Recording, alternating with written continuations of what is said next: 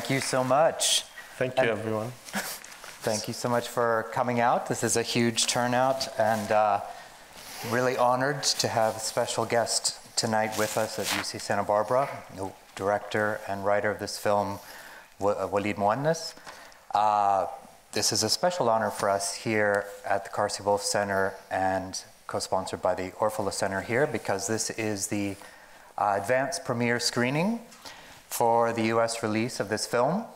Um, much delayed for from COVID and pandemic uh, delays, but we're so glad to have the film here tonight. Also, it was very special that the U.S. release actually happens at this moment because this is um, exactly the 40th anniversary since the invasion. You know, 1982 to 2022. Um, this film was actually shot in the school where Oualid was a young boy student in 1982. Is actually the classroom that is a almost a character in this film is his classroom, right? It was.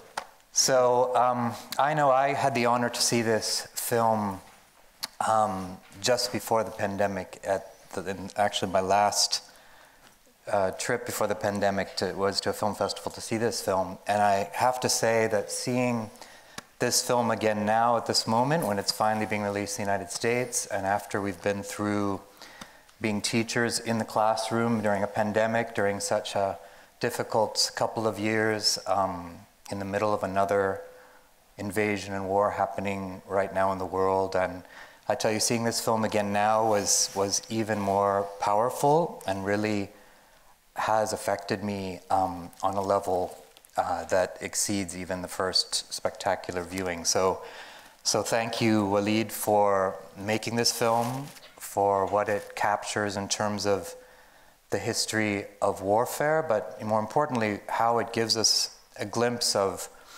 of humanity and of the civilian population and of the universal experience of conflict from a position that's not the battlefront.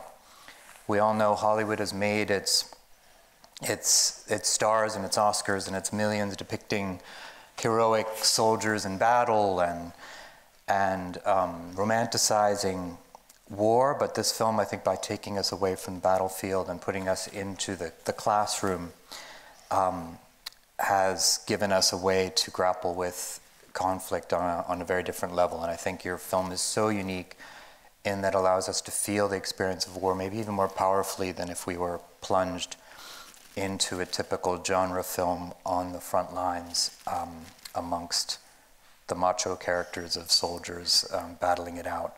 So I, I really felt it this time. I think the first time I saw it, I was more thinking along with the, the teacher, with um, and and seeing it through her eyes. But something about the past couple of years, I was absolutely one of the one of the children this time. I was just spellbound um, by the experience. So um, I wanted to uh, chat with you about a few of the uh, unique aspects of the film and also its its relevance and its context. You have so much personal experience that's poured into this film and that makes it so beautiful for all of us. Um, so, you know, uh, but but first, you know, how are you feeling about the film at this moment when you're about to release it in the U.S.? Before, before uh, first of all, I really want to say how honored I am to be presenting this film here.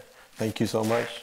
Thank you to the Orfalea Center, and uh, it's really thank you, and and it really means a lot that this film is shown in this context and in the context of the conversation that is very important, uh, the context of peace and the context of humanity.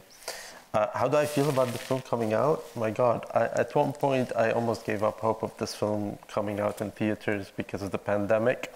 We had we we had a beautiful start at the Toronto Film Festival where, um, and then the pandemic hit, and then and then we thought that that was it, um, and. Uh, it means the world because when you make a film like this, like you don't make the film. I made the film really for the Lebanese people um, and to, for us to see ourselves in a film. By the same token, I made this film for the rest of the world to see us in the same way that uh, they see themselves. Because at the end of the day, what this film really centers about humanity, and it really shows how alike we are. This 1982 for me as a kid was what the equivalent of a September 11th in the United States, is the equivalent of what kids experience nowadays in the pandemic, though it's a very different kind of experience. So, this is a film about the desire to live and to find normalcy in the midst of the absolute abnormalcy, which we see in every war, in every country in the world. And for this film to play in the US now, to open and to reach this audience in what is my adopted home, I've been here for 20 something years now, uh, it means the world because I'm hoping that this message of humanity kind of comes across and reaches and creates conversations. Thank you. Spectacular. No, thank you. So let's focus a little bit on that question of the, you know, the, the role of, of the children and the unique perspective they have in this film. Because I think that uh, in many of the awards that you've won, the appeal to young audiences has been um, a surprise, has been, has been across the board an incredible um, trend in terms of in, in France, young audiences came out in droves to see the film and it won the uh, Young Cinema Award at Cannes. Um, you know, you said that at the, uh, the Cinema of War Festival, again, it won the Youth um, right. Favorite Film of the Year award. So I'm, I'm wondering, what is it, why did you choose to set this story amongst children in order to give this different perspective on war? I, I, I really never gave it a thought. I just knew I had a story I wanted to tell, mm-hmm. right?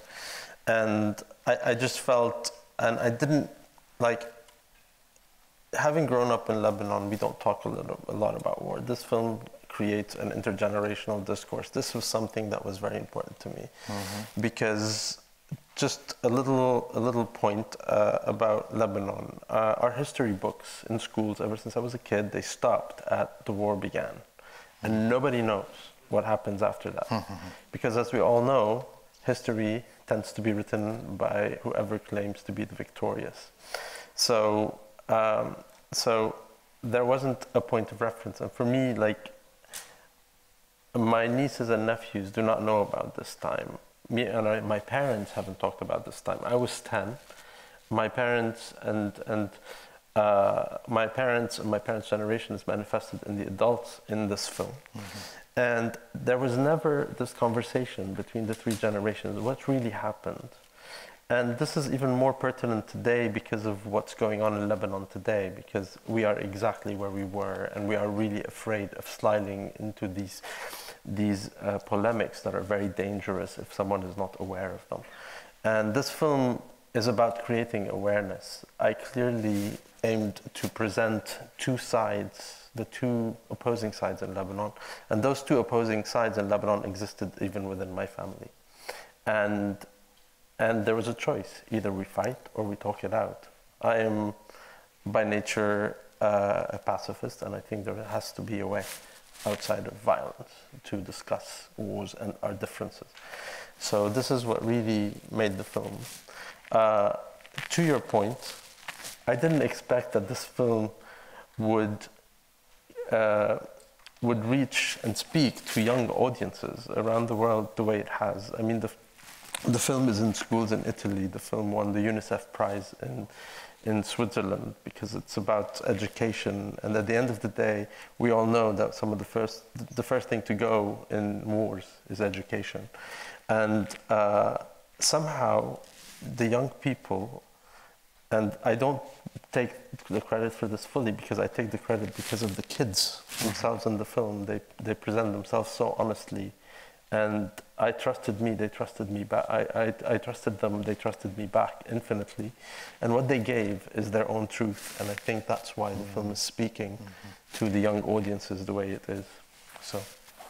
Had you worked a lot with child actors before? And no. I know, well, well, he did get Oscar shortlisted for an incredible short, short film, film, starring a, a boy defending his family, family's chickens from his family's wolf, chickens, yeah, which exactly. is absolutely fantastic. That's, that's a that's a morality tale. It's a parable right. for war, actually. right. Well. That's true. Mm. Yes.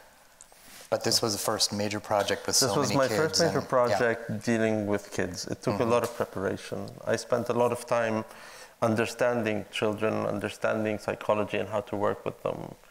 And I, I realized that the world, even I think all of us, if we go home and we have nieces and nephews who are very young, uh, and just observe them, and you realize that when you're observing these kids and they don't know that you're in the room, they behave in a way that their world is complete. And the moment an adult walks into the room, even it's a minute change, but these kids really change. They, they suddenly feel that there's an adult in the room and they become children. But their world, in and of itself, for their peers, is complete. And for me, this was very important in this film because there's two worlds. I mean, clearly, I've, I've opted to stay more in the, in the kids' world because that's the world that drove the story for me. Uh, but the kids' world is completely separate from the adult world, and the way they interact was very important because the way inter- they interact is uh, is basically it's a coming of age tale. The kids have to grow up, and the moments they interact are the moments they're forced to grow up, like what happens with Majid in the car Yeah. when he actually asks his mother a very very like strong question, which is the heart of the film really. Why is it okay over there and not over here? So, mm-hmm. yeah.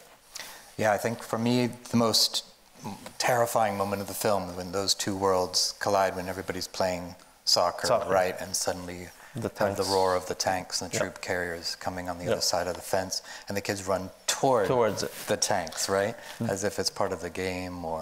Well, what was much not. interesting directorially, this was this was this was not my plan on the shoot. Mm. like basically, we had the tanks. You know, I mean, we had a whole like bunch of tanks and armies and whatnot, and they're going around this school, and it's like about. They have to go around like a major mountain to be able to come back and go back down. And then we finish shooting and everything, and then we uh, in, as, as we're doing the scene, and there's Frozen in the soccer field, Wissam's like, Oualid, can I speak with you? I'm like, sure, what, what is it? He's like, we wouldn't do that. We wouldn't just stand. I'm like, what would you do? He's like, if, if we saw tanks passing by the school, we're going to run to the fence. We're not going to stay put. And I looked at, and I looked at my producer, and I'm like, okay, uh, Abla, I think, I think I want it. She's like, what do you mean? I'm like, we're going to reshoot the scene and we're going to do exactly what Wissam said they would do. Because at the end of the day, I had to take cue from their truth, not from my truth. And I mm. kept reminding myself of that Yeah. as I was directing these kids. And to the point that sometimes I really, most of the time, I never really gave them direction standing up. I would actually sit on the floor because I needed them to look down towards me so that they don't feel I'm an authority. Because I felt if they felt I was an authority, they would not be able to be themselves. Well, very effective. Um, so one other aspect of the film that I think is really powerful and why it's so important to see it in the theater is the, the sound design. Right. Right? And, um, you know, it's not just because the screen is bigger, but as we all experienced, right, there's Immersive. another film that's happening alongside the school storyline, and that's the, the sound The of a sound. sound of war, which is war is depicted almost entirely through sound, except for those brief moments of tank, tanks storming through the soccer field. But um, and so there's there's the soundtrack of, of the rumbling of war, which we feel more than we, we hear, Correct. which is such an incredibly visceral and terrifying experience in the audience and beautiful.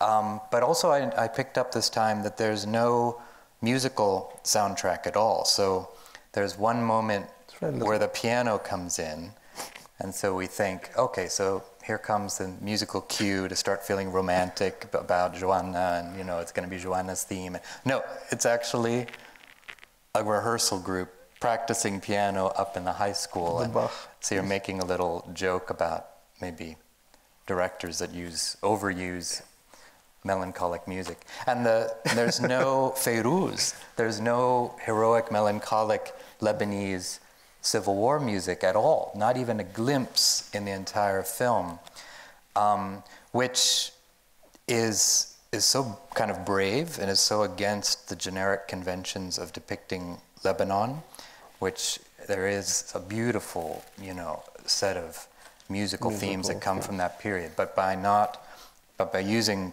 the rumbling of war as a soundtrack, by not having romantic emotional cues, you let the kids lead us, and then Yeah. things like the pigeons become the soundtrack, where you kind of feel the earth itself starting to respond to the war. The, the- for me, like music is really like if we're to think. I mean, film is is is an art, right? If you're building a tableau and you only need like so many brushstrokes of a certain color and not many brushstrokes of another, it's the same thing. Every layer in this film has its mm-hmm. own purpose, and yes, it was. For me, uh, to be quite honest, I mean, there was a point. Of, okay, we finished the edit. We sent it over to a composer, and he's like, "I want to put music there, there, there, there, there." I'm like, "Okay, this might be too much, but let's see what you come up with." And what's interesting for me is it's really important that music is a part of the story and not necessarily an emotional driver of the story. And I just felt that what the actors did in this film was so beautiful that I, I, I actually felt if I put music, I would actually be robbing them of their truth, like and try, and I I wanted to test the audience. I know sometimes it's a bit difficult, but but yeah, I wanted the audience to actually be inside of these characters and with these characters without me trying to mediate it.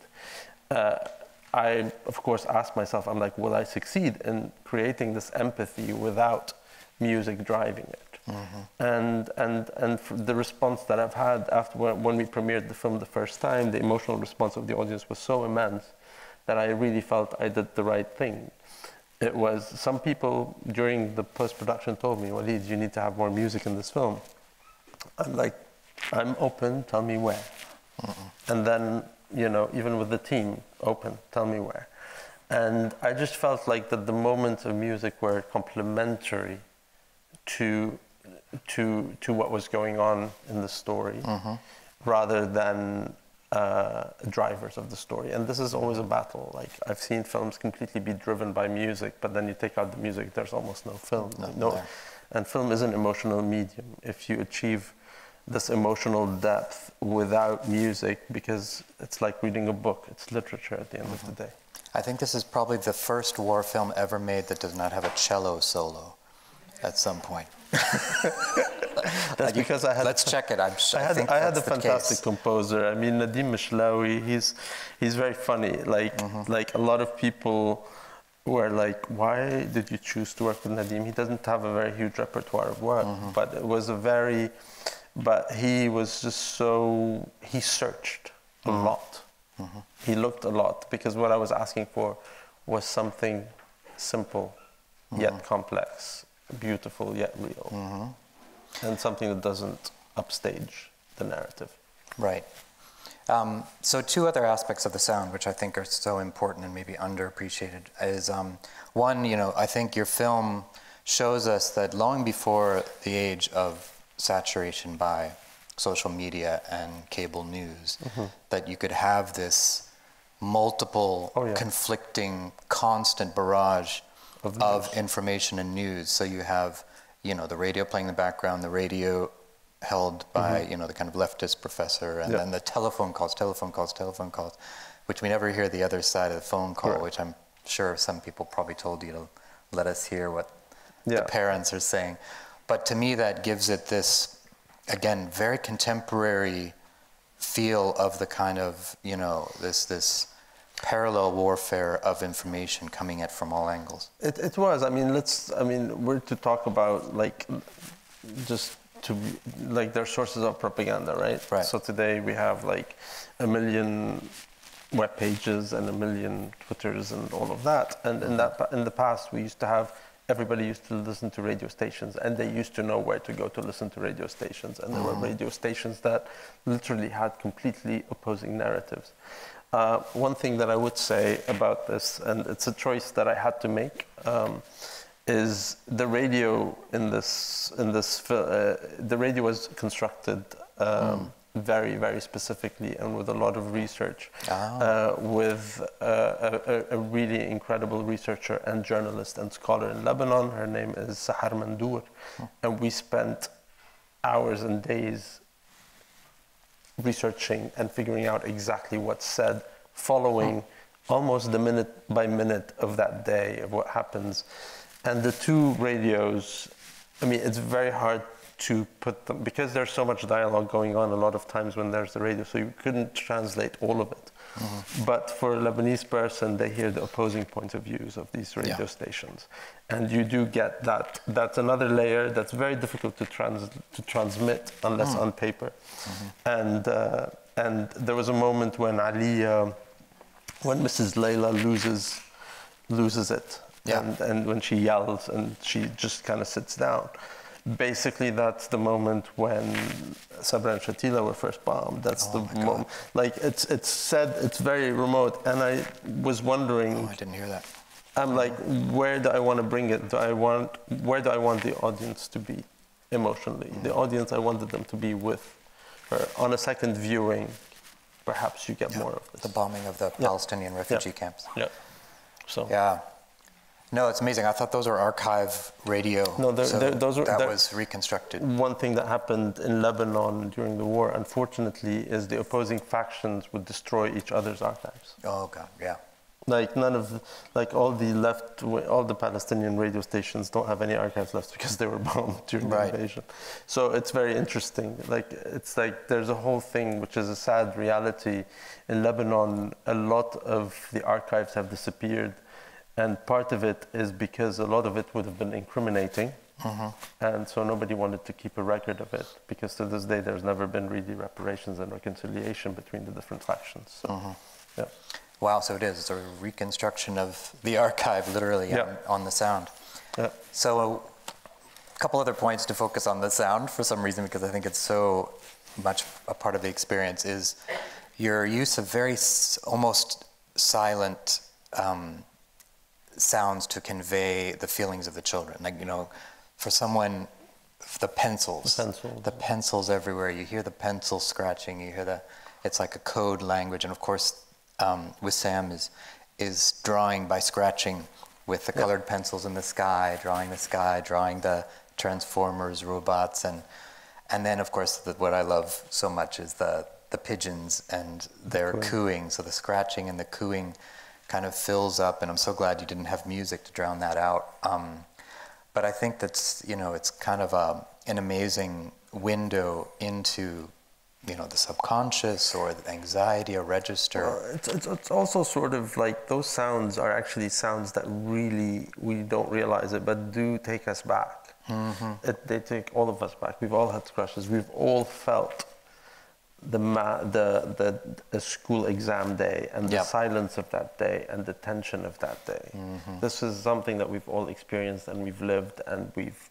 So, so for me, it was really important to convey this mm-hmm. because what it does is, yes, it might be a little slow and tedious, but that's really how we felt. Mm-hmm. And I really wanted the film to kind of feel. I wanted it to take us back to that feeling that maybe at one point in our childhood we didn't like the, mm-hmm. the, feeling of, a ma- of an exam day at a school when, when the school is a little less populated, when the school doesn't have as much activity, when it's like every sound becomes a little more punctuated. Like mm-hmm. even when they, even that the fact that there's a swim swimming team playing, mm-hmm. like it's like far away, but like you hear it more because mm-hmm. there's not a lot of noise. There's not a lot of other noise. Yeah. It's the tension of the silence, yeah. really.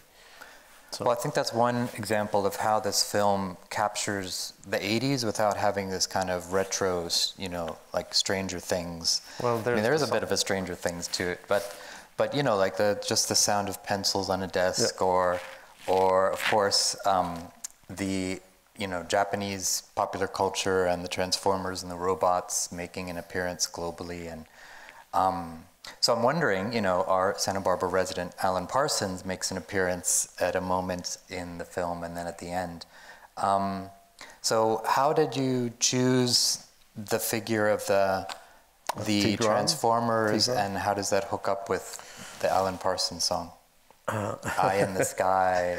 Eye in the Sky. It was the well. Eye in the Sky came out that week. So oh, so it literally was literally June yeah. 1980. Yes, exactly. So it, Eye in the Sky is 100% period accurate for that. Mm-hmm.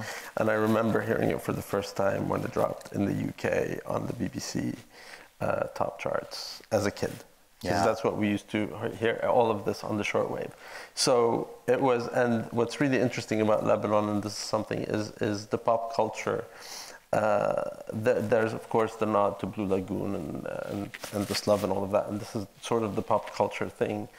Even at the time when there wasn't an internet, if a song dropped anywhere in the U.S. and the U.K., it was in Lebanon within five minutes. It was crazy. Something was unbelievable about the resilience and the, the determination to stay, remain connected to the world in that country. Uh, Tigran. Tigran's, when we were kids, every Wednesday night we used to watch this anime TV show called um, Grendizer. Uh, and Grendizer for us was a hero. We waited for him every week. We watched him. And I used to be one of these kids that drew a lot. I was never really good at drawing, so I was literally Wissam because he wasn't very good. so, so, but, he, but, uh, and I did get into a lot of trouble, similarly. so, uh, so yeah, so for some, like, it just, that's part of, that comes really from my obsession with Grendizer when I was a kid. And, uh, and the fact that I wanted to create my own. So, and, uh, and with regards to how I integrated it into the story, it's like as kids at, at 11, I mean, nothing will stop you from imagining. You know, it's the, it's the age when we can most imagine and when we feel, when kids actually feel that everything is possible. Mm-hmm. And in this case, it just had to manifest into that. It's a mm-hmm. coming of age, but it's at the end, it's a choice between growing up or imagining Yeah. the hero that's going to come and save the day. And, I- and I think the ending of the film has very mixed feelings because a part of it is very uplifting while a part of it is very confounding. Mm-hmm. And this is life. So, Well, to tie it in um, a bit to the long arc of your career here, um, so uh, Oualid is also very known for music video directing and producing. Um, directed or produced music videos for David Bowie, Miley Cyrus, Britney Spears. And just has recent one a few months ago for Lady Gaga that has you know 80 million views on YouTube. So I'm wondering, as someone who has a long experience in music video direction, what are some of the stylistic or cinematographic lessons you took from that and applied to the film, or was this a radical shift in your technique? I mean, music videos is kind of a different, a different field. It's actually a very open field. Uh, primarily, my work in music videos is producing and creative producing. I worked with incredible minds. I would say that I've done, I don't know, over a hundred, even more maybe. Uh, but I am sort of the result of a lot of this. Uh, and the work here that you see is a result of a lot of this. And uh, particularly, like, like, I would say the last part of the film is the music video part of me, really, because it's sort of like music videos are sort of um, an, a blank canvas where you're not restricted and directors can take complete license. In films, we don't have the freedom to take as much license because we're bound to a narrative. And it was the place where I actually felt I had to liberate the film. And liberating the film into this realm that's almost like a music video, which also is very satisfying. And for the viewer who's watching this film, having gone through this intensity, it is really a relief moment. When when you kind of suddenly are, are completely in the kid's imagination, and and I, I, I'm letting you enjoy this. I mean, this was very important. For, like, this is my music video moment. if I'm to to pull it from my, you know, it was the freest moment in the film. You know, and the audience, I think, felt it. So. Absolutely. So, are there any particular uh, reactions in Q and A sessions um, that you've found really helpful and that have been really unusual in your experience? Now that you've done a few Oh, of God. these talks. That's a tough question. Well, just Not you know, as- thinking of. I know you. You're so good at these Q and A sessions. Are there? Is there something memorable or moving at one of these sessions, or? Well, I mean, uh, yeah, oh my God, that, that's there's so many. I mean, I've been very, I've been very fortunate. To have had Q and A's with very different uh, generations and different people, and, and uh, I would say they've ranged everything from the very political, where I'm being expected to, to come up with a solution for the Middle East crisis. So I'm like, um, you know, uh, to, to really a completely humanist standpoint, to my favorite Q&A was in Qatar at a festival called Generations, which is Ajyal. And they decided to program the film for 8 to 12 year olds. And I'm like, what? 8 to 12 year olds? and, and the programmer, she came to me, she's like, Oualid, like, trust me. They know how to read films better than you and I can. And so, so and they invited both me and Wissam. Oh, wow. Yes, and uh, so of course all the girls had crushes on Wissam, and it was it was it was hilarious because the questions the the kids the questions that we were asked and the conversation was about made me realize that these kids saw themselves in this film, and and I was surprised because I didn't know what to expect. And, and they read they read the film so completely hmm. differently than the adults read the film. And this is what's what is a bigger reward because then when they have conversations they all everybody who's seen this film with their parents they in lebanon in particular they ask their parents what happened? Tell us tell us more tell us more we want to know. And the other so that that was like a very like there was there were there were I mean I would be walking in the festival in Ajyal and there was this girl who walked up to me and told me a, a secret. She said, Can I tell you a secret? I was sure she was telling me about a crush she had and she was like nine. I'm like, okay, this is you know, because she felt like she she was able to trust. Yeah. And then another thing is a lot of Lebanese people have left Lebanon, right? We've left Lebanon because Lebanon is tough, whether we like it or not. It's a very tough place to be. And some people during the war left Lebanon never ever wanting to look back. And these people have kids who have grown up knowing that their parents are from Lebanon, but the parents refuse to speak with them. Hmm. An example was in Toronto at the film festival. I had two twin siblings, two twin sisters. They came down and spoke to me after the film, and they brought me to tears, honestly, because they, they first of all, they were completely emotional and they were thankful, and they said, "Oh, "We've been trying to get our parents to tell us about Lebanon. They don't even want us to see this film." And we're glad we see this. We, we just saw this film because for the first time we think we understand them. Hmm. So when someone tells you this as a filmmaker or as a storyteller or as a novelist or anything, when, when something speaks to an audience, a viewer, to that level, for me it was it was the most moving thing because it means that the film is speaking and the film is is raising the questions. And then also at War on Screen, which was in France, people uh, the audience had nothing to do with anything Lebanese it was the jury. This, we won the student jury prize there. It was for uh, 18 to 23 or 24 year old jury, and it was comprised, I think, of about 20 students. Uh, and they awarded the film in their in their in their talk. They were like, they went home, and they all got on Google to see what happened in 1982, because the most important thing about moving forward is to talk about the past and what happened and talk about it wisely with a perspective so you're able to move forward. So mm-hmm. that's Fantastic. So to cycle back around to Lebanon today, um, didn't want to start with that because I didn't want to launch into you know a dual lecture on Lebanon. But um, you know today is a really important moment in Lebanon um, after uh, three or four years of intense struggle. You know, in 2018-19, there was a revolutionary movement led by young people against the sectarian system that is kind of depicted, you know, literally separating the children to one side or the other at the end of the film, the sectarian system asserting itself. Um, and, of, and of course, that those uprisings um, successful in creating a new discourse and a new process, but in the end could not dislodge the uh, government. Um, there was, of course, the terrible blast in the port. Is that 2019 now? 20. 20.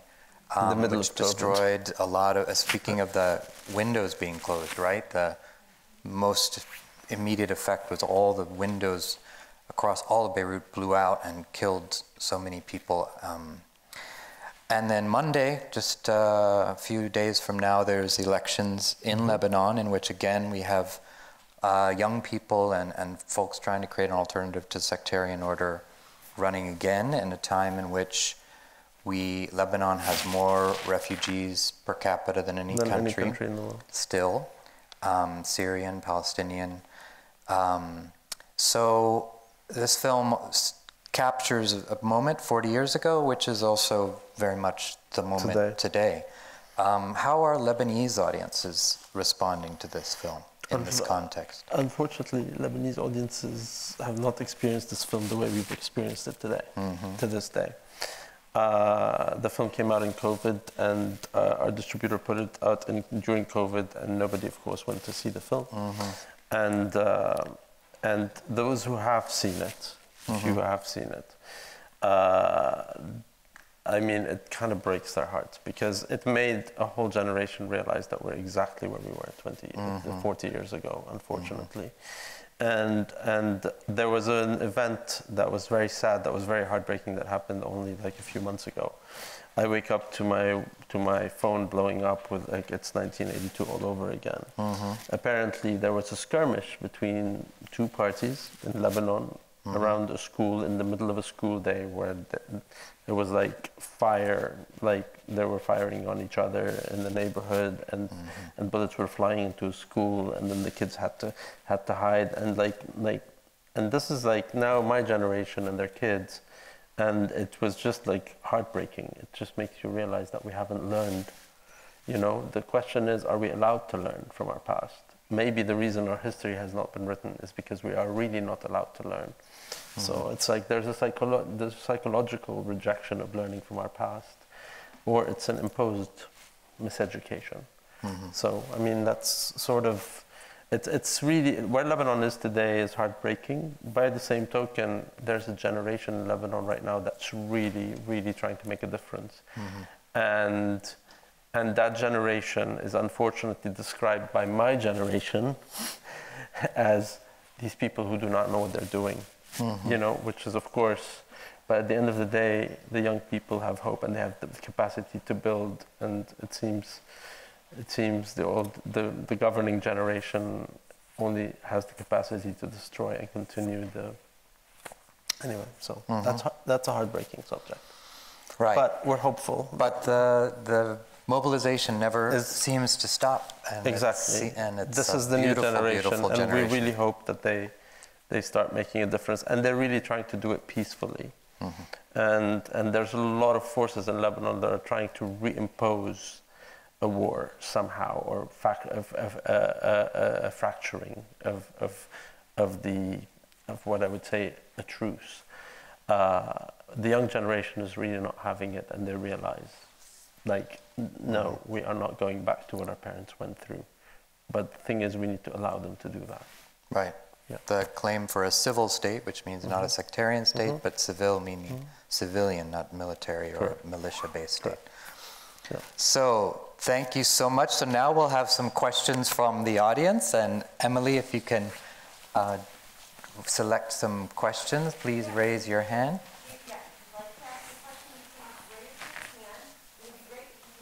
Um, Hi, Oualid. Um, Hello. I want to say thank you, first of all, before I pose my question, um, for making the only film I've ever seen that depicts my childhood in Lebanon around, uh, around that time. It's, it was an amazing experience, so thank you. I thank you very much. My pleasure. Thank you. Um, actually, um, when you mentioned uh, your, um, your sojourn in, in Qatar, uh, I'm curious to know um, because um, I'm one of those Lebanese American parents who has kids who I've tried to talk to them about my experiences in the war back then, but um, I can't somehow uh, bring it down to their language, right? Because my instinct as an academic is to explain all the nuances, which, as you know, would make anyone go crazy. Yep. Uh, never mind kids. Um, so, um, how effective is a movie like yours, you think, um, to um, inform kids like my kids uh, um, to give them a sense, give them a, a, a, taste of the of what that time was like for us when we were kids, right? Uh, so what I'm asking, I guess, is the movie obviously resonated strongly with me because I lived that.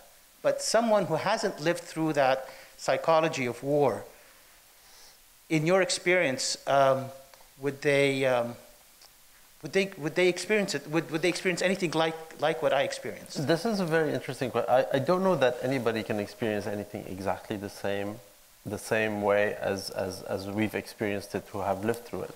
But what's fascinating for me is um, during COVID, the film played at a festival in Italy. Uh, and the festival is for kids. And, and when it played for that festival in kids, part the, after the festival ended, two organizations in Italy came and they licensed the film specifically for schools. And uh, there was 8 to 14. So and I was having, during COVID, Zoom calls with these kids who are watching the film in their homes, like from age 8 to 14. And it was fascinating because they related to the film, they understood the film, they understood the emotions of the film, they understood who we were. Maybe they didn't necessarily feel the war that we felt, but they understood it. It did something to them and it spoke to them. And for me, it was, it was such an, it was very, it was quite unexpected and amazing. I mean, the film is still in schools in Italy right now, and it's being licensed for schools in Germany. And it already, when it was in Switzerland, uh, it was also at a festival for kids, and it was awarded the UNICEF award because the film addresses the rights of children in a way.